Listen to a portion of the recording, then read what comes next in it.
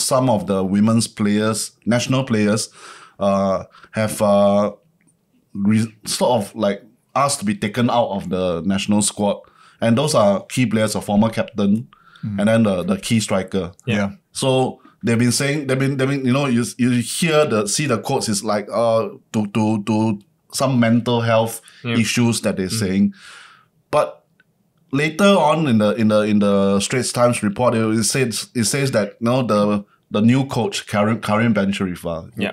who was signed uh who came on board like earlier this year Yeah, I know him. Yeah. He's a very demanding coach, shouts a lot, you know. Maybe maybe it is his way of trying to lift up the team.